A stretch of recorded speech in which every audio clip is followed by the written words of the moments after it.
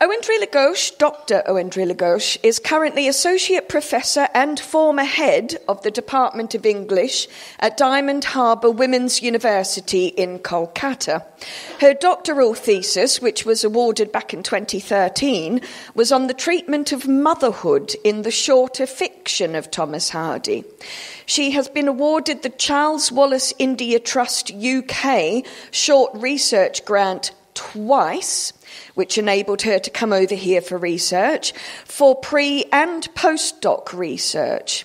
She has been a speaker twice at the Hardy Society biennial conferences, 2014 and 2016, and she is the recipient of the prestigious Frank Pinion Award, which we awarded to her in 2014. Apart from a number of notable and often cited essays on Hardy in international journals, she has also edited two volumes Protean Images, a study of womanhood in Victorian society and literature, and An Enigma Called Emily, reassessing Emily Bronte at 200. Her third one has now also been published. It says here forthcoming, but of course, this is no longer April. So, visitation, deception, and contestation, interrogating gender and the supernatural in Victorian shorter fiction. And it's a fabulous book, not just because I'm in it. Anyway.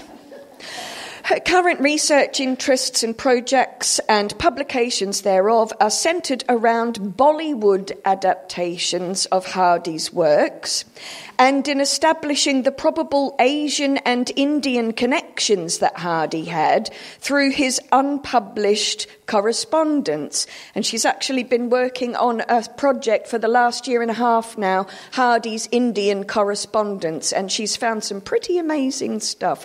So hopefully we'll have something on that soon for you. So may I present Dr. Oindrila Ghosh. Hello everyone. It's a pleasure to be here today at the Tess of the D'Urbervilles Study Day, and I'm extremely grateful to the Thomas Hardy Society and especially to my dear friend Dr. Tracy Hayes for inviting me to deliver this plenary lecture at the study day. As has already perhaps been circulated, uh, and you are aware that the, that the title of my talk is Hardy's Tess adaptations, cultural transpositions, and alternative modernity. Now, Thomas Hardy's novels have always been a popular choice for film adaptations owing to their cinematic qualities of atmosphere and imagery. And ever since the release of the most recent film adaptation of his novel Far from the Madding Crowd in 2015, there have been a spate of re evaluations of Hardy's works particularly in relation to their on screen adaptations. This is also the time when I personally got interested in looking for uh, uh, the, the influence of Hardy's novels, his works on Indian cinema. And obviously, the starting point was Bollywood, but this is a continuing research and project where I will be trying to look at. Uh, the possible influence or the possible adaptation of Hardy's novels in other Indian languages. Now, the success of the transfer to the medium of films is perhaps, with reference to Hardy's novels, is due to the sensational elements that are present within Hardy's plots and also his uncanny ability to portray the complexity of relationships be- between the sexes uh, so, uh, so wonderfully well. Yet, many critics of Hardy's film adaptations are of the opinion that Hardy's novels cannot be faithfully transferred to the screen due to his techniques of utilizing multiple perspectives and multiple voices. And this, I think, is particularly attenuated in the case of transnational and cross cultural adaptations, which need to take into account both the 19th century British context of the original tales and the relevance of the plots to a heterogeneous Asian or Indian film viewing audience. Now, these in turn also raise several important and pertinent issues regarding adaptations in general. The vital question then looming before us is what, after all, is the value of fidelity in adaptations? since most discussions of adaptation necessarily concern this dual pronged notion of fidelity and transformation. Most practitioners and theorists of the field are of the opinion that adaptations ought to be faithful to the source texts. Fidelity is also often thought to be harmful because it perhaps eliminates alternative or more fruitful lines of inquiry. Paisley Livingston, in his essay, which is called On the Appreciation of Cinematic Adaptations, says, and I quote, For a work to be an adaptation, many of the distinguishing and characteristic features of the sources, such as the title, setting, ethol, must be expressly adopted and imitated in the new, new work. As adaptations are distinct from mere copies or reproductions, they must also be intentionally made to diverge from the source in crucial aspects. Close quotes. Thus, Livingston's argument establishes that fidelity is a necessary prerequisite and cogent critical approach to understanding, decoding, and appreciating adaptations per se. However, in his view, in some cases, fidelity improves an adaptation, but it might also harm it. This thus puts the burden of discretion on the filmmaker of what shall work best through transposition and intermediality. My point will be to argue along these lines through close reading of the adaptations of the Bollywood versions to reveal how fidelity and departure have contributed to the success or failure of the adaptation. One can certainly claim the popularity of the adaptations of Hardy's novels amongst Indian filmmakers who have indeed successfully transmogrified 19th century rural Britain for an Indian public otherwise spatially removed and also geographically and chronologically far removed from the 19th century original context of the novels. Hardy's novels are immensely popular among Indian readers. They have been translated into Hindi and a number of other major Indian languages and multiple number of multiple times. Uh, but my argument is to be able to illustrate that it is cinema rather than print culture which has aided the dissemination of Hardy's novels among non English readers of uh, Hardy in India. The plots of Hardy's novels have appealed to Indian filmmakers since the 1940s because the sensational elements within his plots guaranteed commercial success.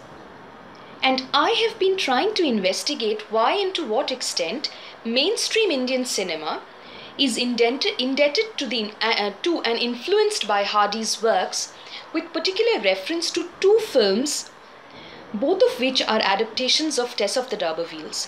One which was made in 1967 called Dulhan Ek Raat Ki, and the other one, Prem Granth, released in 1996.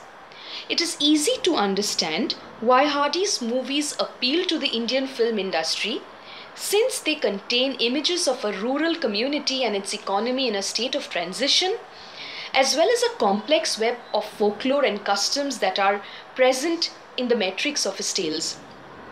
The plots and settings of his novels find many resonances in the Indian social and cultural matrix.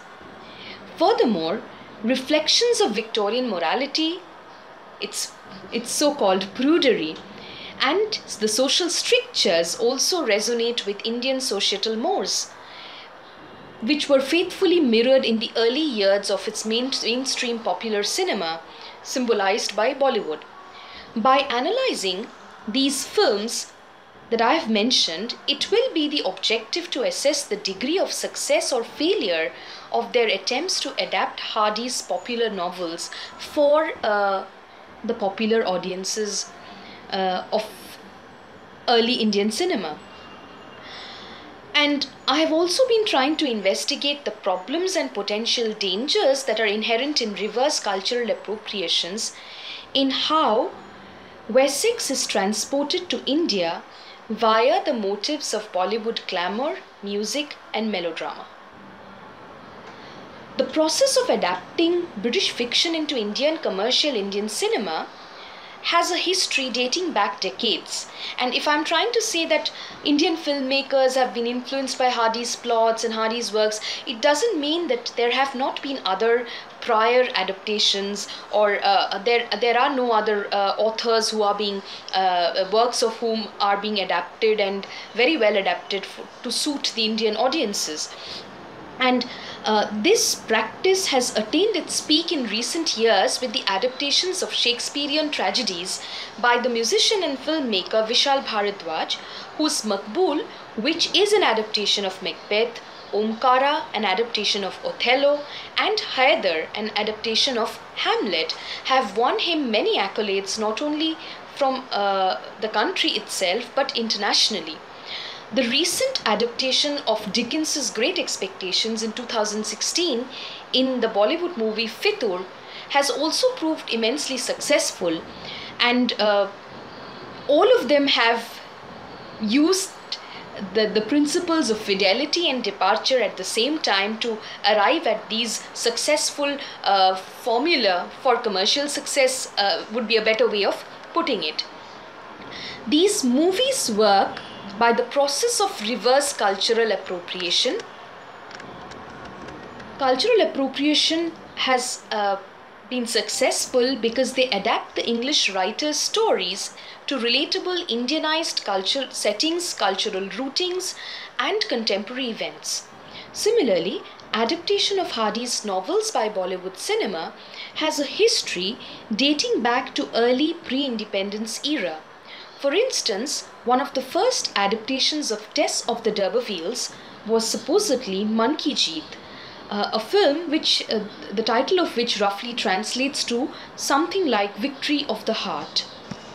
Directed by W.Z. Ahmed in 1944, unfortunately it no long it is no longer available. The print of this movie is unavailable for researchers and audiences. The film's uh, which I will talk first of all, are films by Indian filmmakers influenced by tastes of early, conservative, and evolving Indian audiences with expectations already shaped by typical Bollywood masala or spice movies. An important point that may now be raised by viewers of Hardy's film adaptations are how successful are these adaptations or how successful were these adaptations how much did they add to or take away from the original narrative? That means the questions of fidelity and departure that with which we began can be applied and can be put to test when someone is watching these adaptations of hardy. How much uh, and what are the outcomes of indian adaptations? How far do appropriations work? Exploring answers to these questions shall be vital to our discussion these adaptations were able to deftly appropriate the universal elements of Hardy's plots. The sexual double standards, exploitation of the rural poor, or an agrarian economy in transition and flux, which were easy to supplant onto Indian metrics by the Indian filmmakers and this can be supported by the commercial successful of success of these films where the audiences were mostly unaware of the fact of imitations or adaptations of plots of british novels. And neither did that ignorance hamper the film viewing experience in any way.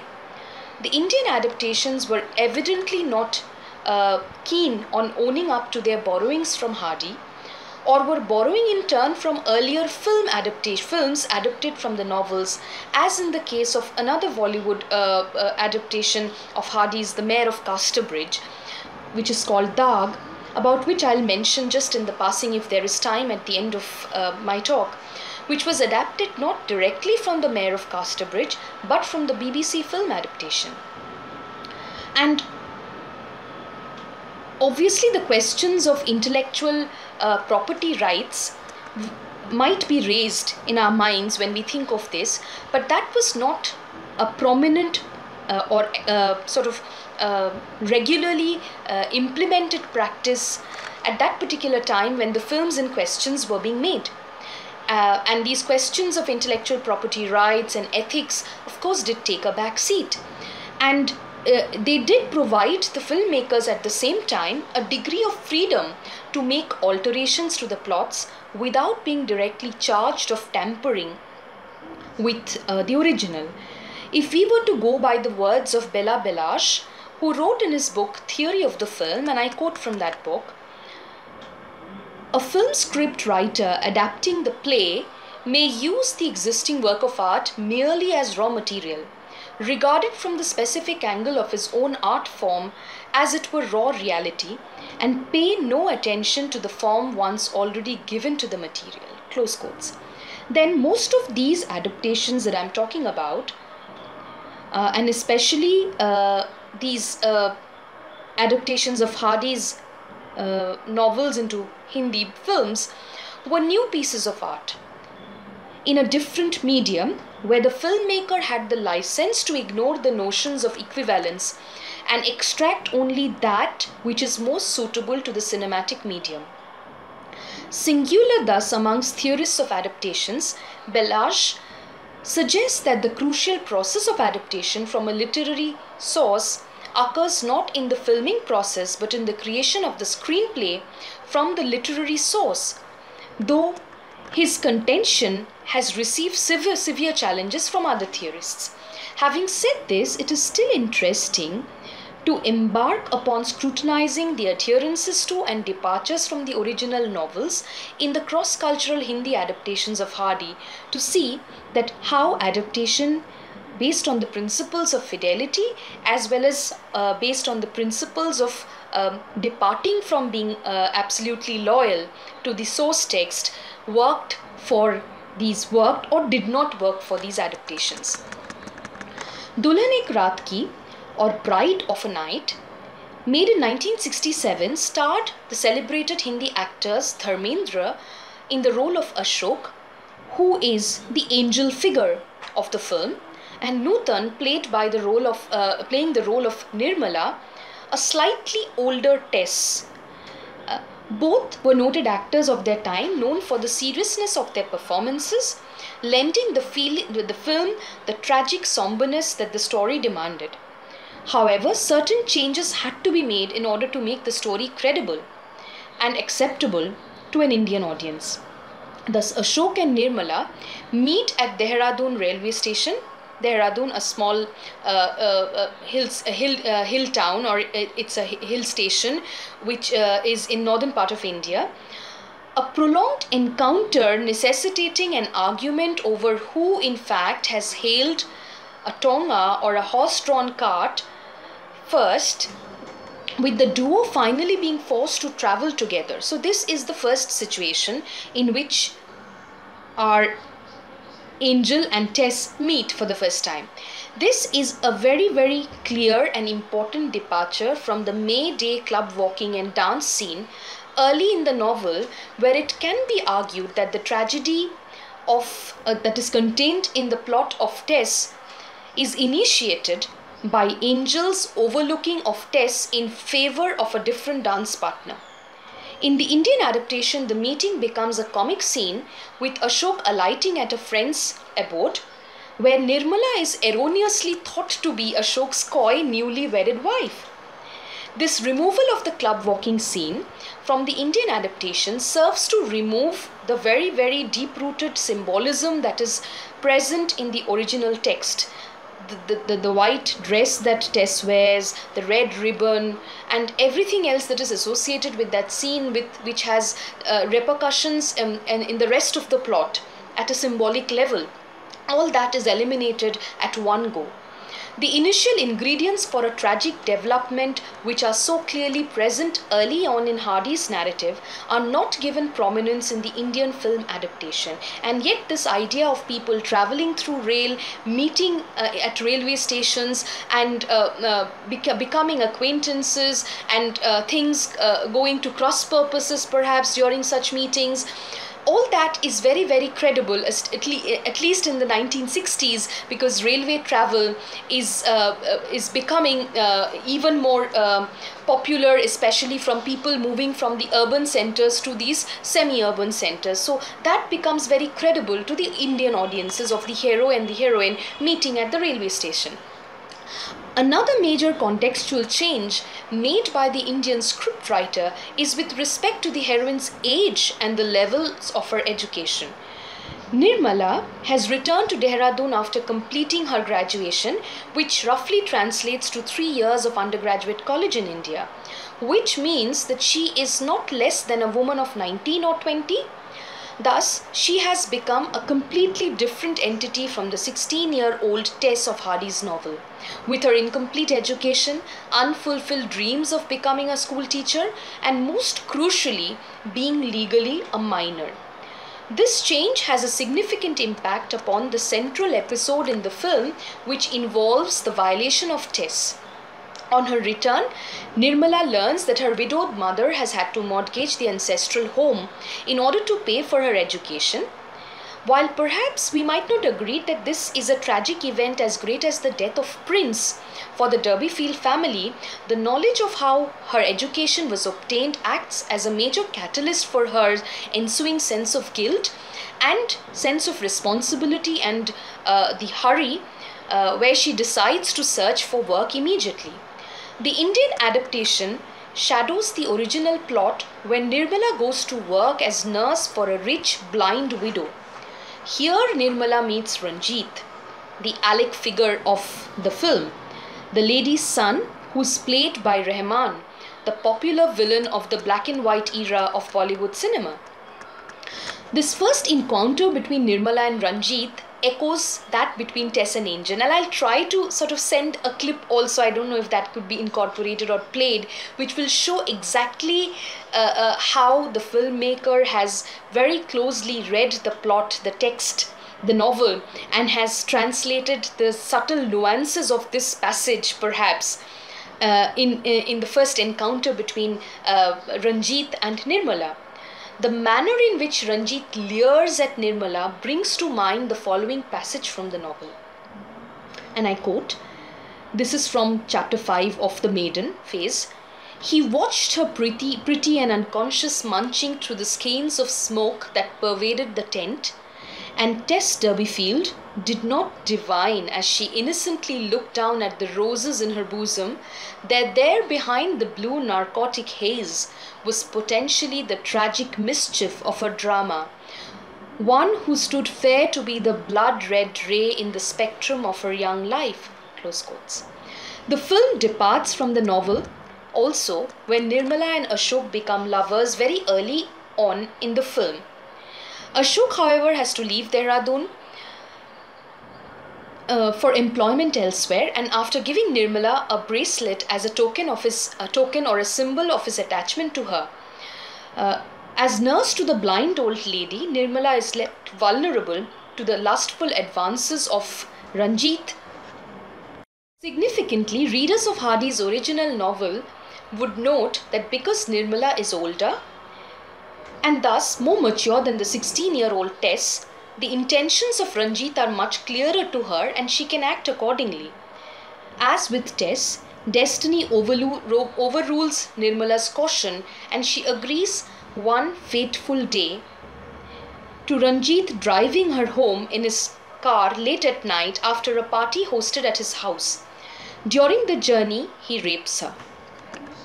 In Tess, the scene in the chase is controversial because Hardy has left it ambiguous Hardy's narrator remains neutral during the event, partly due to Victorian censorship, but also to force his readers to define issues of physical and moral chastity and dissociate the two. This early Indian film adaptation also refuses to delineate the rape scene explicitly, though only out of respect for a conservative film audience. The violence with which Nirmala's bangle, that same token which is left to her by Ashok, levels of education empowers Nirmala more than it does Tess in the original novel. And uh, unlike the novel in this film, the heroine is not given the chance to experience motherhood or to express her anguish at the sexual double standards of a patriarchal society. Rather, she is given a chance to start life anew with the respectability as a schoolmistress reminiscent of one of Hardy's other heroines, Leonora Frankland, from the short story For Conscience Sake, in uh, the volume of short stories Life's Little Irony.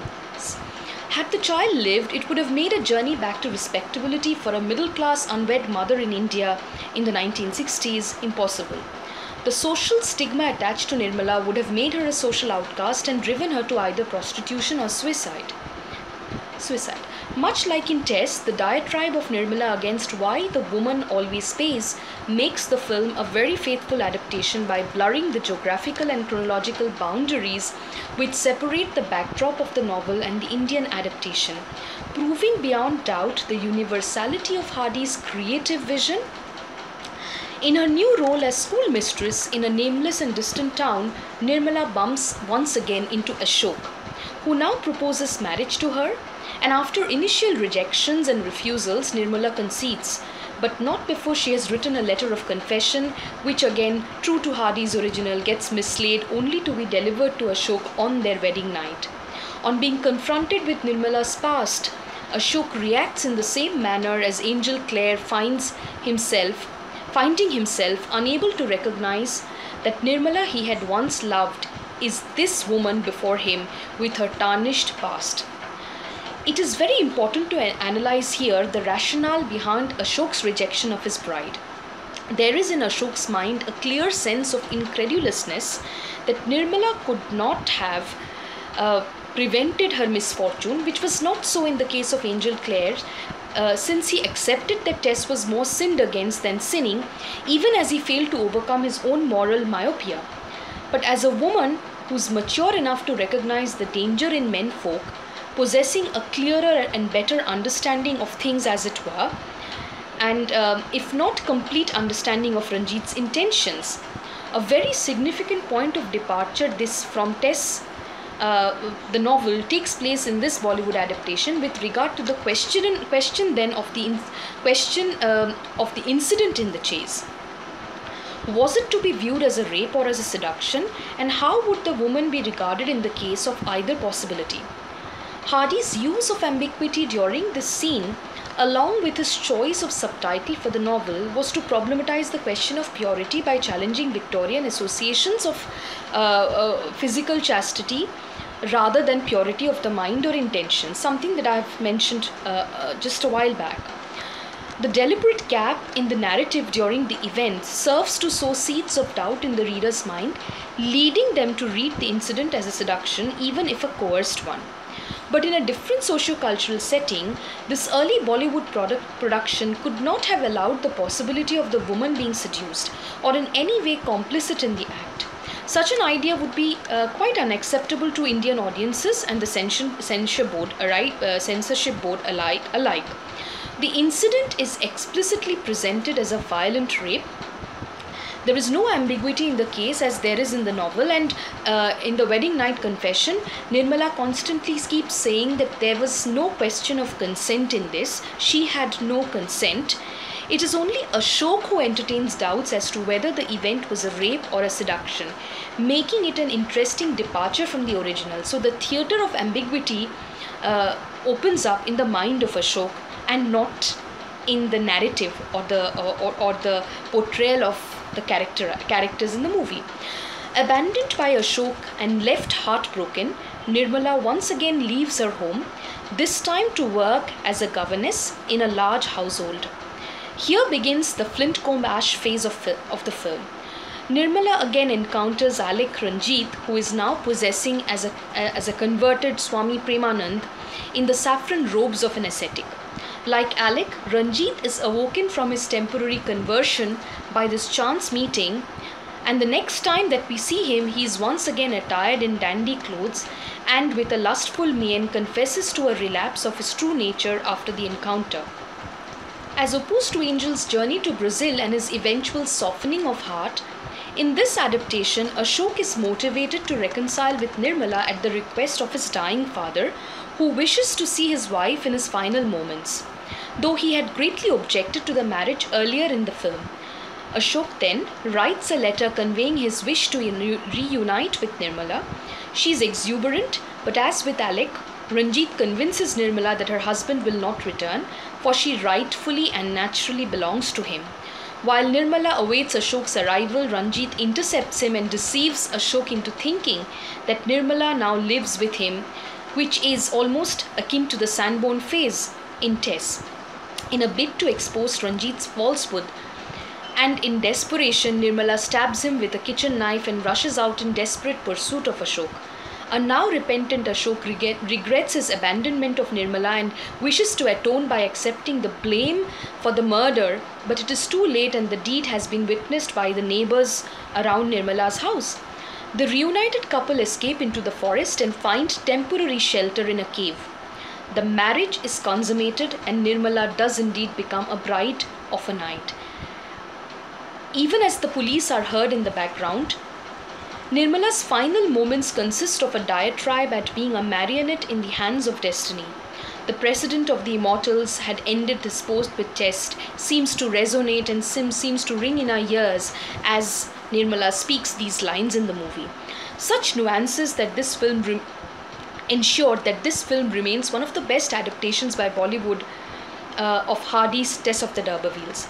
The novel's ending is changed for the film Dulhan Ek Raat Ki in order to appeal to the Indian social and cultural psyche and to deepen, deepen the uh, uh, significance of the tragic outcome of Nirmala's life. While the symbolic joining of hands of Angel and Liza-Lu after Tess's hanging sometimes has been misread uh, as an optimistic ending, the lack of legal sanction behind marrying one's deceased wife's sister in Victorian England intensifies Hardy's ending by hinting at a tragic replication of Tess's fate if this were to happen at all. The Indian director, for the very same purpose of retaining the grimness, omits this possibility in order to maintain a tragic in- ending. For in Indian culture, it is an accepted custom for a man to marry his deceased wife's sister, and hence perhaps Nirmala has no sisters. To render the tragedy extremely bleak. I shall now very quickly move on to the next second adaptation, which is Prem Granth, released in 1996 and directed by Rajiv Kapoor under the very famous banner of his filmmaker father Raj Kapoor's RK Films. The movie starred an aging Rishi Kapoor, who was once upon a time a teenage heart- heartthrob of Tinseltown, and the diva of the 1980s and 90s of Bollywood cinema, Madhuri Dixit. This rather inferior, I would say, adaptation of Tess is based not in the semi urban locale of Dehradun but in a deeply caste ridden rustic setting. The insurmountable barrier between the lower and upper castes, especially in a village, replicate Hardy's depiction of rural barriers in Victorian England. Only here, the consequences of transgression meet with violent reprisals. The story revolves around Somen, a lawyer and, a, and the son of the head priest of the village temple, Swami Dharam Bhushan Maharaj, a man with a very strong character and courage of conviction. Unlike the earlier adaptation, this one utilizes the character of Parson Clare but without his eclecticism. Bhushan is a firm supporter of the rigidities of caste mores. Somen, however, believes in the principles of equality and freedom and often confronts his father on issues of social justice and religion. His uncle Nandalal owns a prosperous dairy farm and keeps himself away from the affairs of religion and social obligations, citing them as unjust and outdated. This adaptation, though flawed, actually comes closer to resembling, resembling Hardy's novel and its emphasis on the class status distinction between Tess and Angel. Somen meets a beautiful young woman, Kajri, at an annual festival who is uh, equivalent to the Tess uh, figure in the film and uh, and is immediately drawn towards her, her lower social caste notwithstanding. They part unexpectedly, and Somen's attempts to find Kajri are in vain. Kajri and her father Baliram are on their way back to their village Bansipura, where en route Kajri is forcibly abducted and brutally raped by a drunken stranger. Later in the film, the audience becomes aware that the perpetrator is a man called Roop Sahai, who is a repeat offender of such crimes. As with the previous film, there is no ambiguity as to the circumstances of the rape in this adaptation, lending the Tess figure here a clear sense of victimhood. Kajri, who becomes pregnant as a result of rape, is pleaded uh, to marry an older man in order to maintain her respectability, but in order to avoid this, she flees the village and secretly gives birth to her baby elsewhere. Despite her efforts, the baby dies, and Kajri meets priest Dharambhushan, Somen's father, to request that the child be cremated with proper religious rites. Despite Kajri's pleas, the priest refuses.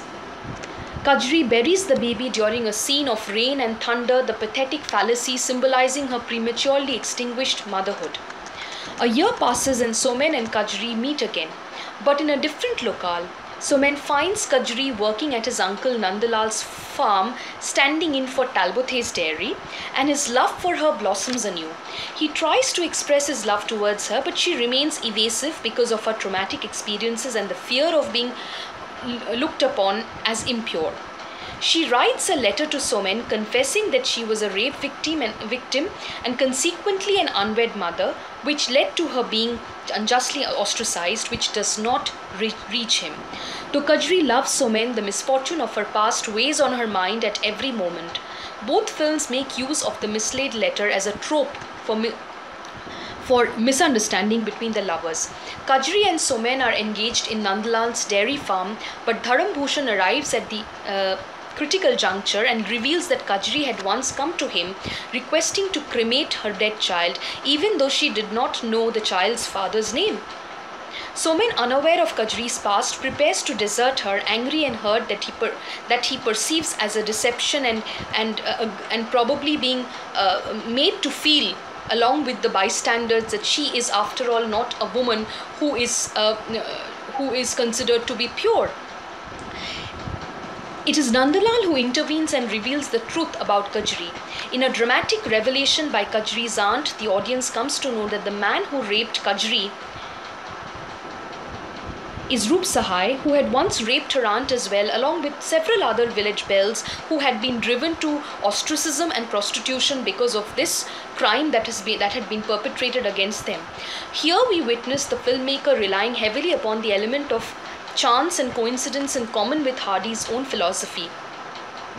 Thus, unlike in the previous movie adaptation, the villain, vil- villain of Prem Granth lacks the suave and seductive charms of, uh, uh, of Alec, which comes closer to Hardy's um, depiction of the original Alec uh, in the novel.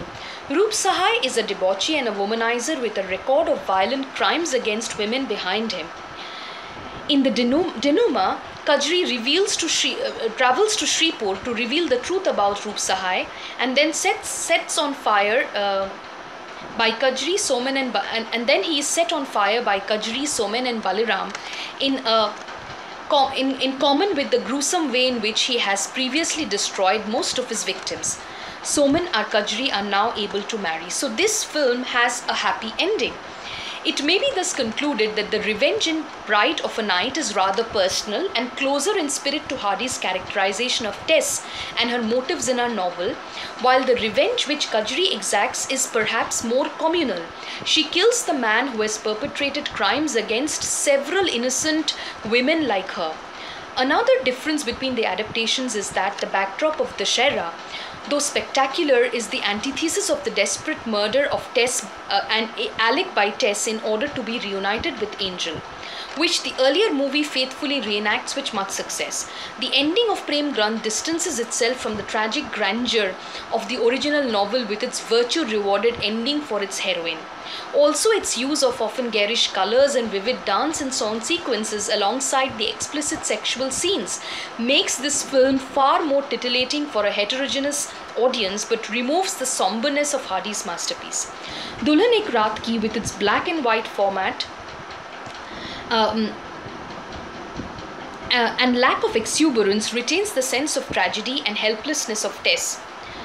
And um, I stumbled upon this trend in Bollywood to adapt Hollywood uh, uh, Hardy novels quite late in my research upon Hardy and was rather surprised to discover that Indian commercial cinema had attempted to adapt the works of a such of, of a somber writer as him.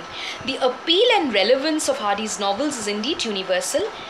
Able to be identifiable with a culturally different rustic population, nonetheless subject to the same kind of fate as Tess and her family.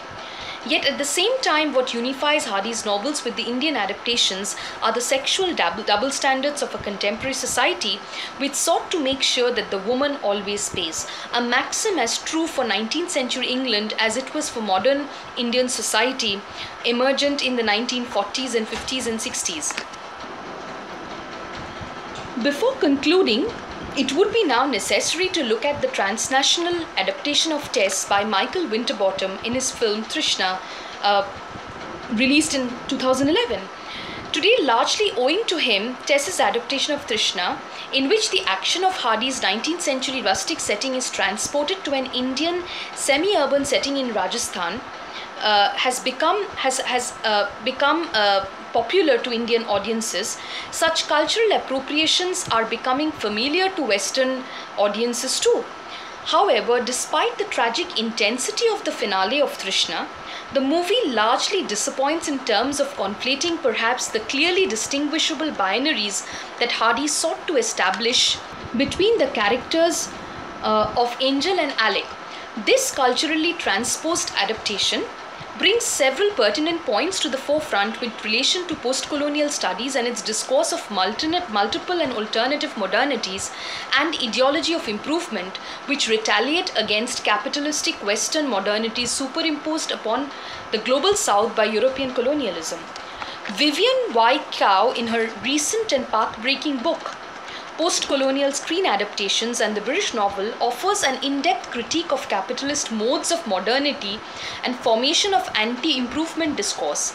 Its chief contribution would be of making a novel point about 19th century British texts as inherently containing the seeds of the critique of colonial notions of improvement, which are amply and effectively utilized by their 20th century screen adaptations. The book attempts to use development theory or improvement ideology as the lens through which to reread 19th century classics of British fiction and its modern film adaptations, thereby pointing out how they discover, critique, and utilize tropes of anti improvement inherent in those very texts to tackle the threats of neo capitalism. The book contests and questions the premise of development that being bad at capitalism means being backward, stunted, imperfect, and unfree. It is divided into several subsections which collectively seek to address the question and uh, the question how post-colonial film adaptations appropriate British fiction to speak of contemporary global power inequalities, colonial legacies, and to set up aggressive resistance. And, and, and, I, and I find this book and its premise very very pertinent uh, uh, when he uh, when uh, when when she applies this in a chapter on Tess and Trishna which is called Unaccustomed Modernities in Tess and Trishna, which uses the, this lens of multiple modernities as an alternative both to 19th century improvement ideology and its later revisionist discourse of critique.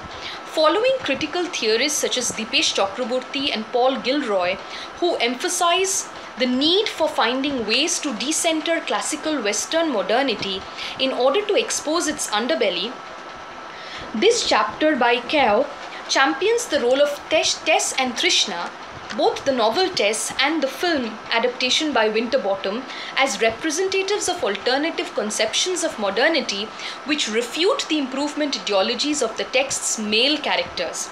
While aligning Thomas Hardy and his Wessex novels with multiple modernities is a novel take, the author, however, sometimes makes this reductive claim that instead of trying to recover and reclaim, Hardy registers the possibilistic by drawing attentions to its obsolescence. Uh, and that I think will be open for critical uh, contestation and difficult to admit in the light of exhaustive studies which have focused on Hardy's uh, uh ideas of improvement ethics and materialist criticism. The analysis of the motivation of Alec and Angel in this uh, book of the uh, uh, uh, the comparison between the novel and the film uh, as improvers has however been probed with depth and clarity whereby their single-minded desire to turn history to profit is shown as wreaking disastrous effects on the people and environment that they come in contact with both in the case of Alec and Angel. Cao brilliantly decodes Winterbottom's technique of conflating the film's viewers with the male improvers of Hardy. And though the former is offender and the latter rescuer, the latter does so with the same intention of improving Tess or Trishna in the case of the film adaptation, according to their notion of a modern subject. And I quote from the book the viewer's desire to hear the voice of the globally southern woman speaker speaking the West's own script, close quotes, is something that uh, uh, Cao very, very uh, brilliantly probes into The book's silent erasure of narrative is replicated in Trishna's passivity, and the tourist gaze depicted in the film is reminiscent of the imperial gaze. The theorizing of Kaplan, Gayatri Spivak, and Trinh Minh-ha are utilized to emphasize that unaccounted experiences in the novel and the film adaptation by this uh, the Hollywood film adaptation circumvent capitalistic and academic agendas of improvement. And that I find is a very very novel take uh, a, a very novel take on uh, looking at Hardy's Tess novel and its uh, Hollywood adaptation. And uh, that is how these um, uh, understanding the trans cultural and uh, uh, cross cultural uh, adaptations are important and are sort of sort of change our way of looking at discourses of improvement. And finally, I, as I mentioned, I would want to conclude or wind up by mentioning that Bollywood had also tried to adapt uh, the other Hardy novel, The Mayor of Casterbridge, in a film titled Daag, which roughly translates uh, to The Blemish. The adaptation was a roaring success, and it is interesting how easily, by a reverse cultural appropriation, Hardy's Casterbridge transposes to an Indian town with the figure of a man with a past shrouded in mystery. The major theme in the novel of a man's bid to escape his blemished past and start afresh, and yet suffer a setback at the zenith of his power, perhaps resonated with Indian audiences verging towards universality and a man pushed towards crime as a mere puppet in the hands of destiny had an appeal beyond the barriers of geography, geography and temporality. Perhaps this will be the subject of a later talk or a or a lecture. But this, uh, but, but, what I wanted to highlight is that uh, not only this, in recent years I have also discovered a very very uh, good remake uh, or perhaps unconscious adaptation of one of Hardy's short stories about which I have written elsewhere, uh, uh which is called, um, uh, which has been, uh, which is this, which is this uh, story from Life's Little Ironies on the Western Circuit, which has been made into a, an obviously it is not a, a, conscious adaptation but the way which goes on to show that how uh, great writers and uh, thinkers perhaps think uh, alike across cultures and across, across ages where this uh, 2013 film called the lunchbox made by bollywood with the noted actor irfan khan who passed away very recently uh, has been made into this beautiful movie this muted story of uh, uh, edith harnham and uh, her link up with this young lawyer charles uh, has been sort of uh, very well depicted in this Bollywood film. So this idea of this again proves that the elements of universality, the elements of uh, these these very very uh, credible relationships between men and women that Hardy was depicting are uh, continuously appealing for uh, Indian audiences and filmmakers. Thus, these Hindi language adaptations by Indian popular cinema, with mixed results and various degrees of quality, were nevertheless successful in adapting an English regional setting to the Indian socio cultural matrix being well received by Indian audiences who could identify with the stories of exploitation of educated but economically challenged and socially underprivileged women, women by a ruthless patriarchal society, or the stigma of unwed motherhood and the need for a father's name to save face for a woman regardless of social class. Most Bollywood films unfortunately did not acknowledge the contribution of Hardy to their plots, owing chiefly to the story writers claiming them to be their own creations. So the screen, screenplay writers would uh, um, uh, take up the credit of all these uh, uh the plots it is still worth recognizing that through the popular medium of Hindi mainstream cinema, Hardy's works have been able to reach all sections of Indian society, many unknown to its own population, because cinema alone is that medium of entertainment in India. It still remains so despite the OTT platforms to which we have moved now uh, which has a mass appeal and obviously the years that these adaptations were being made 1960s 1950s and even 1990s that was the time of uh, uh, uh, cinema and the- even single um, screen theaters.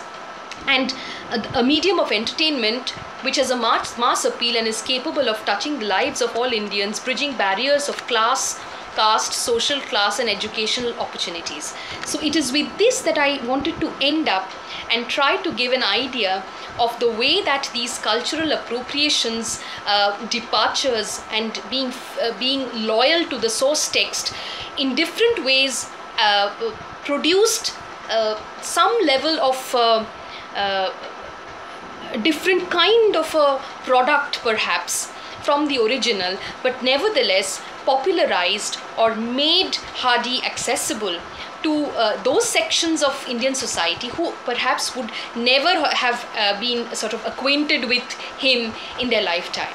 And um, thank you once again for being uh, giving me this opportunity to be able to share my ideas and my continuing research on Hardy and Indian uh, cinema. And uh, at a later date, I hope to be able to share more about the findings that I, uh, I uh, intend to research on. Thank you once again, and it would have been a pleasure to meet every one of you in person, all my friends at Dorchester, fellow scholars, uh, and Hardy enthusiasts, and at a later date in a, in a better world where I think uh, COVID will be uh, a thing of the past, we will once again meet in Dorchester and uh, be able to share our views. And uh, if anybody has any questions or anything to say or any, any anything to discuss, uh, I'm sure Tracy will be able to forward my email ID to them, and uh, I will be glad to answer and discuss things. Uh, with anybody who's interested. Thanks, thank you so much, and wish you good night.